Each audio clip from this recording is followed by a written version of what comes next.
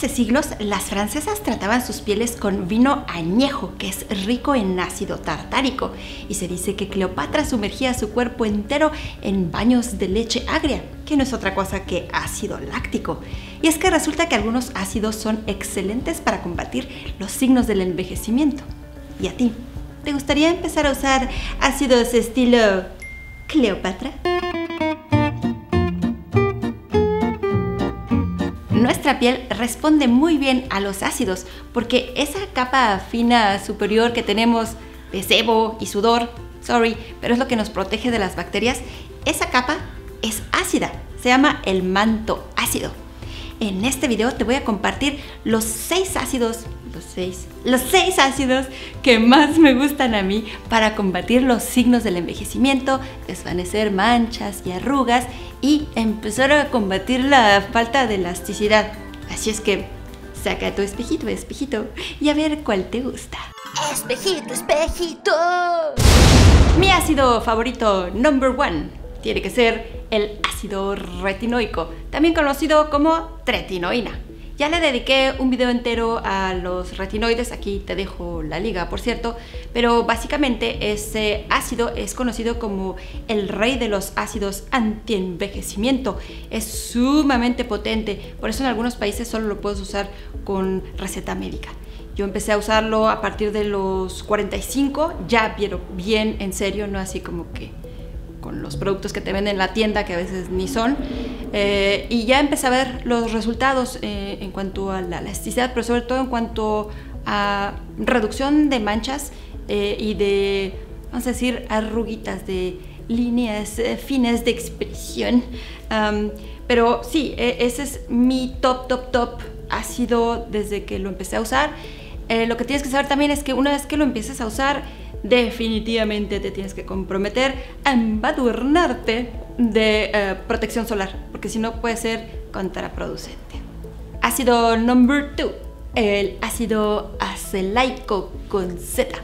Este ácido es totalmente natural, se obtiene de los cereales, del trigo, de la cebada y el centeno, por lo cual es sumamente em, tolerable, no, no, te causes de irritación y esa resequedad horrible. Incluso las mujeres embarazadas y en periodo de lactancia lo pueden usar sin riesgos. Eh, por sus propiedades antioxidantes, antiinflamatorias y despigmentantes, se utiliza mucho para el tratamiento de rosácea y también para disminuir el enrojecimiento en pieles sensibles. Mi ácido favorito número 3 es el ácido ascórbico o vitamina C. Al igual que la vitamina C que ingerimos, cuando lo ponemos tópicamente, puede ayudarnos a neutralizar los radicales libres, a estimular la producción del colágeno, también mejora la luminosidad de la piel e inhibe la respuesta inflamatoria. Yo uso sueros que tengan un pH entre 3 y 3.5 y, y que tengan una concentración entre 15 a 20% de ácido ascórbico y también me gusta cuando vienen combinados con otros ácidos como el ácido felúrico y también la vitamina E porque tienden a ser más estables y más potentes. Ácidos favoritos número 4. Los ácidos alfa hidroxi. Los ácidos alfa hidroxi son ácidos orgánicos que exfolian y también como que engrosan la capa profunda de la piel porque estimulan la producción de colágeno. Son recomendados para el tratamiento del acné, poros dilatados, comedones, espinillas, microquistes, hiperpigmentación y piel seca. Es recomendable no combinarlos con otros ácidos, sobre todo no con la tretinoína, o uno u otro. Y también mucho, mucha protección solar. Los tres alfa hidroxi más conocidos son el glicólico, el mandélico y el láctico. Echémosle un vistazo rápido a esos tres. El ácido glicólico, si está presente en la fórmula entre 10 y 15%, se utiliza para tratar acné, eh, psoriasis y queratosis y si está presente en la fórmula entre 15 hasta 70%, se utiliza para corregir arrugas, estrías y manchas. El ácido láctico viene de los lácteos, como su nombre lo indica. Eh, con un buen pH entre 3 y 4 y una concentración entre, vamos a decir, 5 y 12%, esas fórmulas son sumamente hidratantes. Por eso lo usaba nuestra amiga Cleo. Y además, al igual que todos los alfa hidroxi, ayudan a la exfoliación de la piel, o sea, a renovar y a regenerar eh, sus nuevas capas. Y también ayudan a desvanecer manchas, a igualar el tono. El madérico es más bien utilizado para todo lo que es acné y corregir todas esas manchas y como cicatrices, marcas y discromías que tiende a dejar el acné. Todo esto gracias a sus propiedades exfoliantes como todos los alfa hidroxi. Mi quinto ácido favorito tiene que ser el ácido hialurónico. Seguramente has escuchado hablar de él. El ácido hialurónico no actúa como los demás ácidos, es decir, que lo puedes combinar con otros y no hay ningún problema, no tienes que estarte preocupando tanto de la protección solar. El ácido hialurónico actúa como una esponja y es capaz de retener una gran cantidad de agua en la piel. De hecho, aumenta el volumen, lo que reduce la apariencia de las líneas finas de expresión.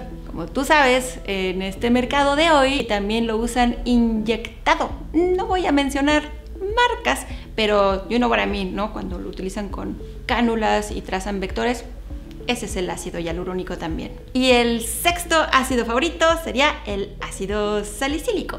El ácido salicílico se utiliza más que nada para tratar el acné. Como es soluble en lípidos cutáneos, es buenísimo para pieles grasas o a tendencias acnéicas, ya que entra, penetra hasta los conductos sebáceos. Más que nada lo que hace es limpiar eh, los poros obstruidos.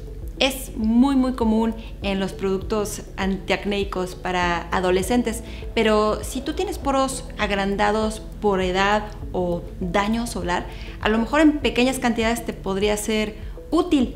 Bueno, no, no mucho tampoco, ¿eh? porque para pieles maduras como que tiende a resecarnos. Como puedes ver, el mundo de los ácidos no es tan complicado y hoy día el mundo de la cosmética los explota por sus múltiples beneficios para la piel. Y no es magia, es simplemente una ayudadita a la regeneración de la epidermis, en parte gracias a todas sus acciones exfoliantes. De cualquier modo, te recomiendo que consultes con un dermatólogo antes de empezar a aplicarte rutinariamente ácidos porque escoger el ácido erróneo, la concentración y la fórmula y la combinación errónea puede ser contraproducente. Puede ser que te produzca más resequedad y no queremos eso las pieles maduras. O puede ser que por el contrario, para compensar la resequedad, tu piel empieza a producir más grasa y pues tampoco queremos eso. Así es que una buena consulta no está de más.